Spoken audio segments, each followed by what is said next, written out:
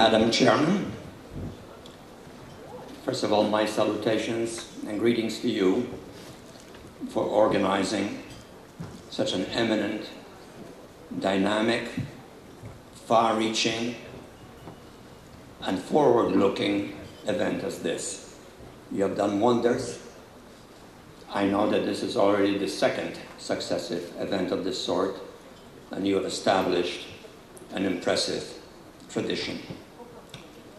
Secondly, Mr. Prime Minister, I'm deeply touched by what you said.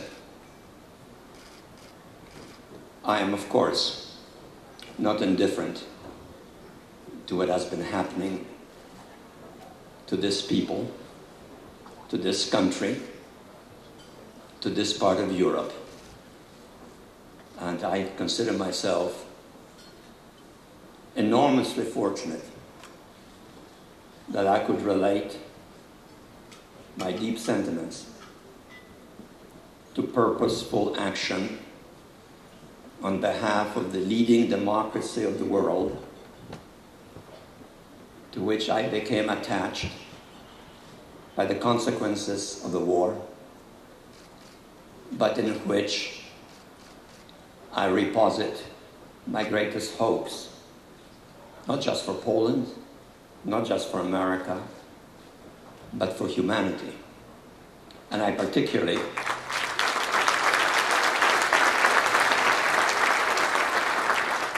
and I particularly appreciate your double service.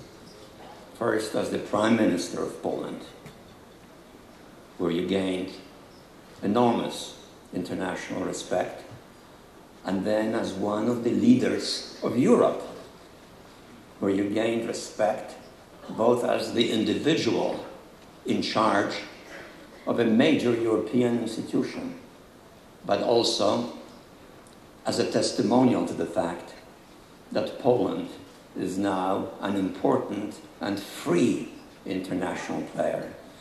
So I'm grateful to you because I value what you have been and are continuing to contribute. I could go on in this vein and spend the whole evening saluting people in this room at the table at which I was just sitting. I have close friends who I will not enumerate anymore by name, who have made such immeasurable contributions to the restoration of the Polish economy and to the credibility of the Polish state internationally. And there are others in this room with whom I have been engaged in common endeavor to transform what here once existed, to transform something that existed here in spite of the will of the people. And that was evil, and was a misfortune, and was a cruel judgment of history at the end of a war which produced so many victims. And some of the victims then remained victims for another 50 years. So I have endless obligations of personal gratitude and respect for those of you who are here and where you had to take real personal risks. And I, some that, and I know that some of you spent time behind prison bars.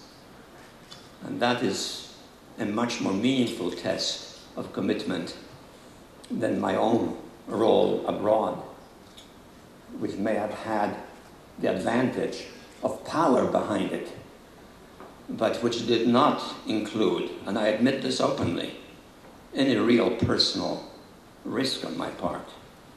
I did what I could because I was convinced that it should be done. And I consider myself to be lucky, together with you, of the outcome. But now is the time to pass to the present and to look ahead. And the, and the departure, and the point of departure of my speech today is recognition of the new basic global reality that global dominion by any single power is no longer a realistic international prospect. However, at the same time, we have to face the fact that the world is more vulnerable to growing global chaos. Hence, responsible nation states have no choice but to promote wider geopolitical cooperation. And Europe, particularly, has the opportunity, as well as the historical obligation, to shape and to participate directly with America in the quest for such broader cooperation.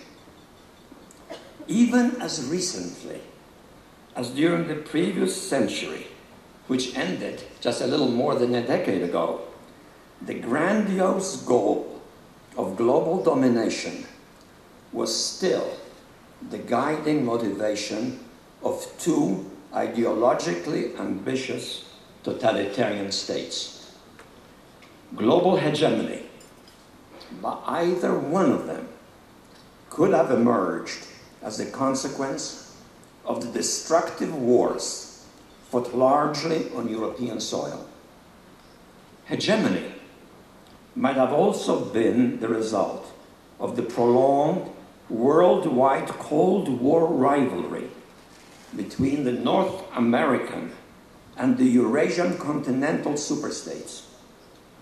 Not surprisingly, the one sided but peaceful victory of America over Soviet Russia gave birth to the brief but widely shared illusion that the 21st century would hence be the American century, with the United States acting as the world's benevolent hegemon.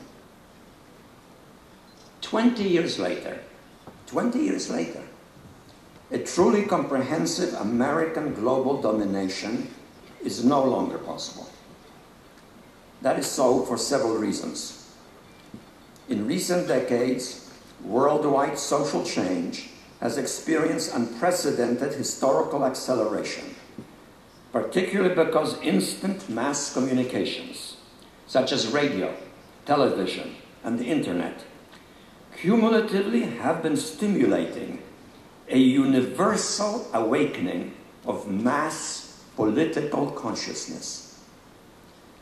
The resulting widespread rise in worldwide populist activism is proving inimical to external domination of the kind that prevailed in the age of colonialism and imperialism.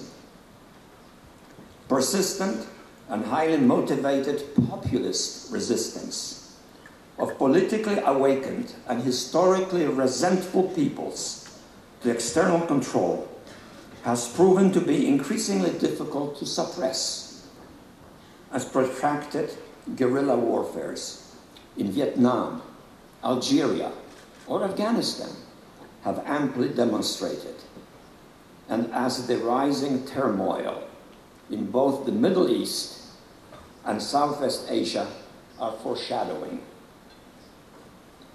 At the same time, the acquisition by the major powers of weaponry of increasingly destructive capabilities has made the notion of victory in a nuclear war among them prohibitively costly. That has prompted a degree of self restraint that was absent in the pre atomic age, age in relations among major powers. Last but not least, the ongoing shift in the center of gravity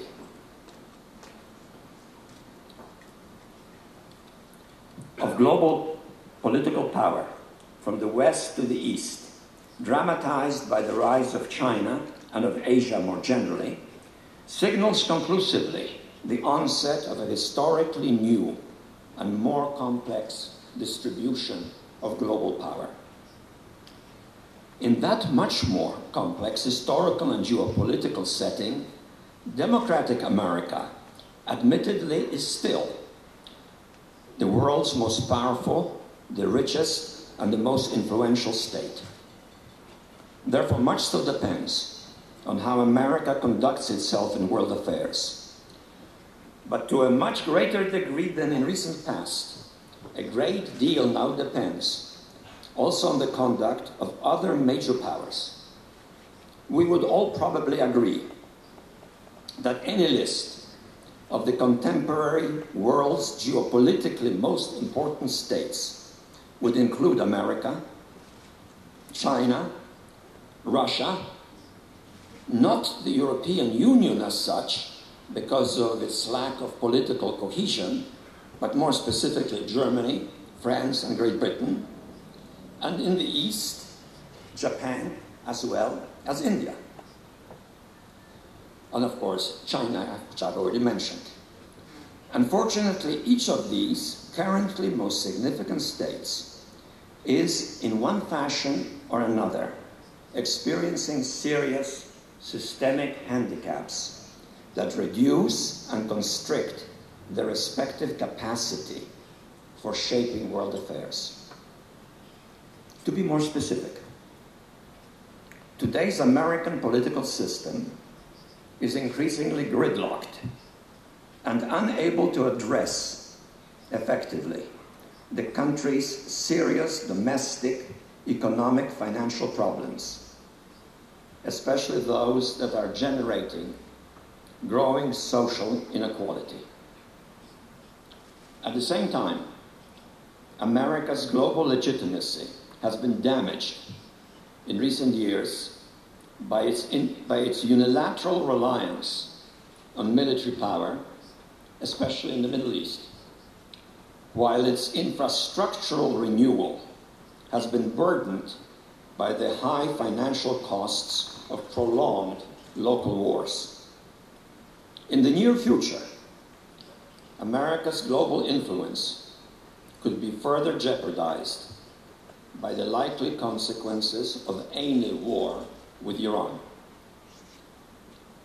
China, despite its historically unprecedented and truly remarkable modernization, is showing signs of internal political stress between its ruling bureaucracy and the increasingly nationalistic armed forces, and of a growing restlessness among the younger portions of China's newly prosperous middle class regarding the political system's controls over their mounting aspirations.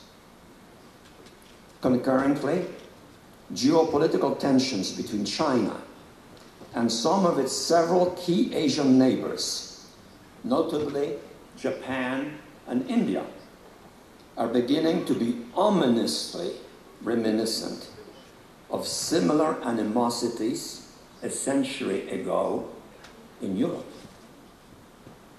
Russia, especially under Putin, is currently dominated by nostalgia for imperial status and hopes of seducing and absorbing Ukraine, in this regard for its own socio-economic retardation, its demographic crisis, the brain drain of its best talent, and is facing a potential threat inherent in the growing gap between China's modernization and the diminution of the Russian population in Russia's Far East.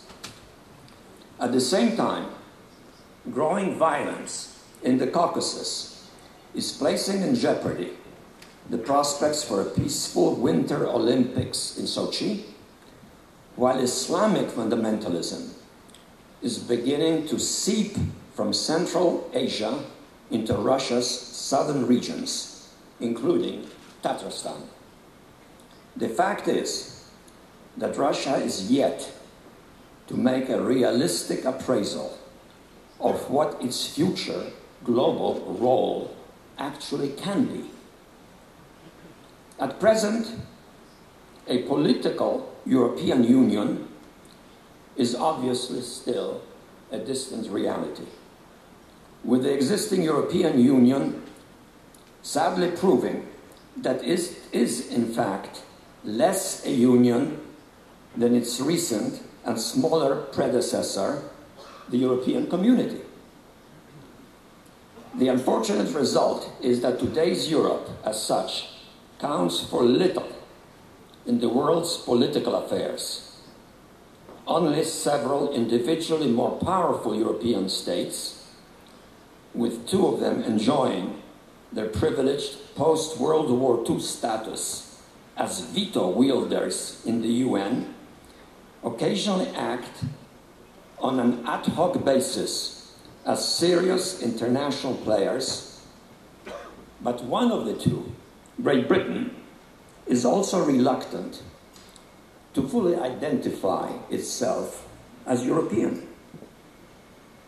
Japan, traumatized by its tragic fate in 1945, is a good citizen of the world, but a passive global power, and still hesitant about its proper role. The victim of territorial unilateralism on the part of Russia and the target of bitter war memories on the part of China, Japan's regional isolation is further intensified by the continued mutual animus with its immediate neighbor, South Korea. In the face of intensifying tensions with China, for Japan, the bilateral link to America is currently its only security blanket. Last but not least, India, the most populated country in the world, entertains large global aspirations, has high self esteem and significant military forces, but lags visibly behind China in its economic dynamism, modernization, and power. Moreover, its conflict with Pakistan, the latter a de facto ally of China, places it in potential danger, while the unresolved territorial disputes and conflicting international ambitions, especially with China, represent an ever present challenge to peaceful stability between the world's two most populous states. Last but not least, the ethnic, linguistic, and religious mosaic of India has some ominous similarities to the former Soviet Union.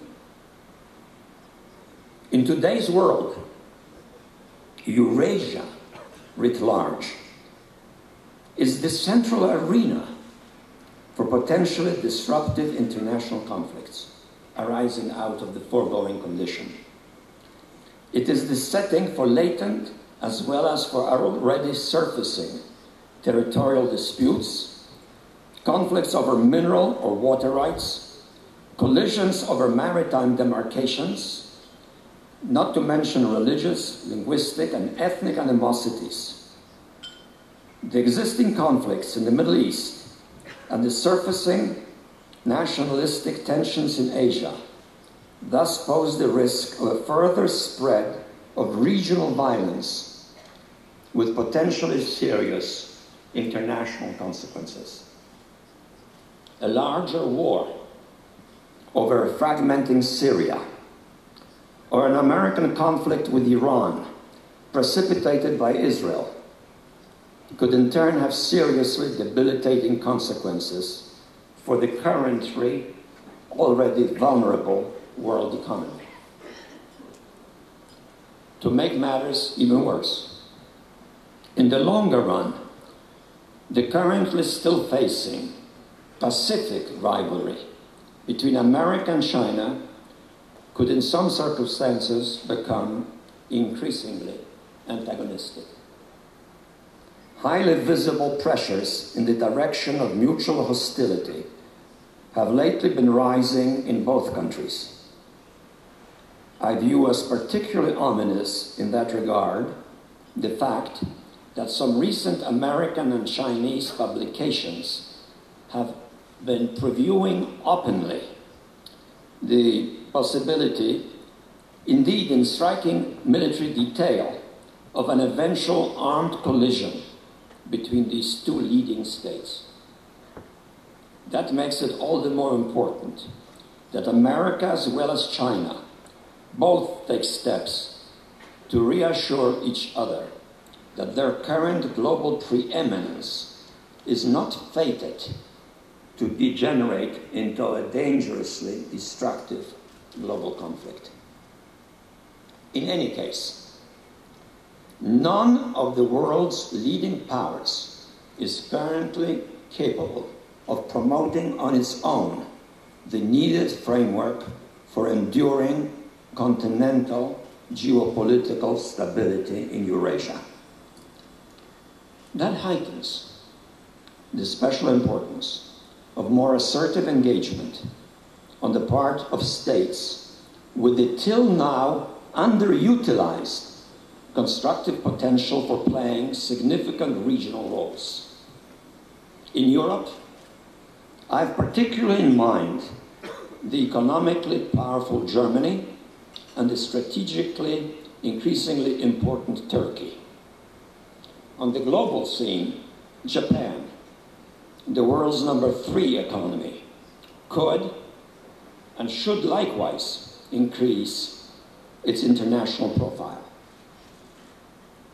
But today, here in Sopot, near the spot where the war that nearly destroyed all of Europe started some 65 years ago, I focus particularly on Europe and its future vocation.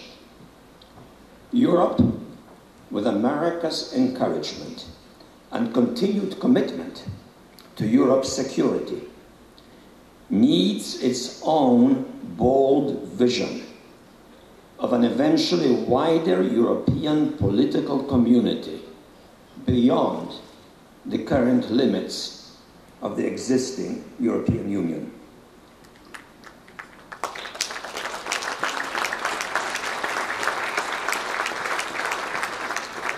In the course of the next several decades, that could involve intermediate confederal arrangements embracing specifically, first of all, Turkey, and eventually Ukraine, as well as also Russia. Germany, as Europe's leading and most successful power, could and should be playing the central role in such an endeavor, particularly in the wake of its successful reconciliation, first with France and subsequently with Poland. France, thanks to its historical self confidence, opened the way to Germany's post World War II acceptance as a leading European state. And that is France's enduring accomplishment. More recently, Poland, to its credit, showed geopolitical wisdom in stating openly and in spite of painful historical memories that a more decisively leading European foreign policy role by the economically successful and democratically solid Germany is in Europe's interest if Europe is to become truly Europe. It is also pertinent here to note that Turkey's own modernization, launched almost a century ago, was very much driven by Ataturk's admiration for German society. Despite occasional setbacks, since then, Turkey's resulting and still ongoing modernization and secularization have proven to be a remarkable success. With Germany in the lead, and with Germany taking advantage also of Poland's historical ties with both Turkey and Ukraine, a constructive German led European outreach to the southeast, namely to Turkey, and to the east, namely to Ukraine and eventually Russia, could revitalize Europe's historical self confidence and promote a more ambitious vision of Europe's future. In that context, it needs also to be stated bluntly that the persistent de facto exclusion of Turkey from the European Union reflects not only a lack of European strategic ambition, but actually the lack of strategic common sense. A Turkey ever more closely linked to Europe would enhance European security. It would promote the prospects for stability in the important oil producing Caspian region, increase the security of Georgia and Azerbaijan, and by closer cooperation across the Black Sea, fortify Ukraine's independence. In contrast, a frustrated and isolated Turkey, permanently excluded from Europe, could eventually become a transmission belt for the spread of the Middle East's political, ethnic, and religious disorders into the Balkan regions of Europe itself. Russia, too, deserves to have a better future option than the feckless imperial course on which Putin seeks to embark it. The fact is that none of the newly independent post Soviet states wish to be subject again to the Kremlin. They will do what they can do to avoid a binding subordination to Moscow under the guise of the currently Kremlin promoted Eurasian Union, while the resentment of it could even infect their new national pride with religious extremism. Paradoxically, to the new post Soviet states, a Russia that is engaged in forging closer links with a larger Europe could be a more acceptable sponsor of greater economic integration throughout the space of the former Soviet Union. The new states would then fear less the potential restriction of their sovereignty, and Russia, itself connected more closely to Europe, would then be more likely to have greater global influence. Fortunately, there is growing evidence that Russia itself is changing in ways that before long will make its present regime obsolete. A new, younger, and more Western minded middle class is emerging. It knows the world. It is increasingly European in outlook and identity. And for the first time in Russian history, fear no longer pervades Russia's political life. That is a new reality with far reaching consequences. It already signifies the onset of a new era in Russia's political culture. In a decade or two, that middle class will be shaping Russia's future, and in doing so, it will not be driven by imperial nostalgia. Ukraine could be a critical political accelerator in that process of change. Currently governed by a pro Moscow regime that is fearful of the approaching Ukrainian parliamentary elections, the country is politically regressing. But 20 years of independence have instilled in the younger generation of Ukrainians a new identity and new pride in their independent statehood. The Ukrainians feel that their country is historically, dating back to the Kievan Rus, and culturally more European than Russia. Increasingly, they see their future as, in some fashion, a part of Europe, but not against Russia, but in Europe together with a democratic Russia. Admittedly, a larger, truly cooperative, and democratic Europe is a long term prospect. I have no illusions in that regard. And we all know that the currently existing Europe is confronting an existential crisis. If not overcome, that crisis could undermine and even destroy much of what has been accomplished in Europe since World War II. Today's Europe of hope could then even give way to a reappearance of yesterday's Europe of hate. That is why today's Europe needs so urgently leaders guided by historical confidence and driven by truly continental ambitions.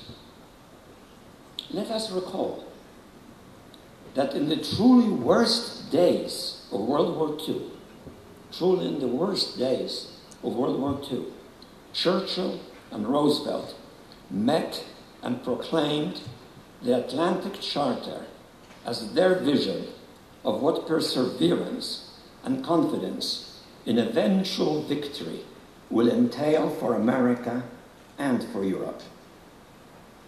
It was a vision of more than hope.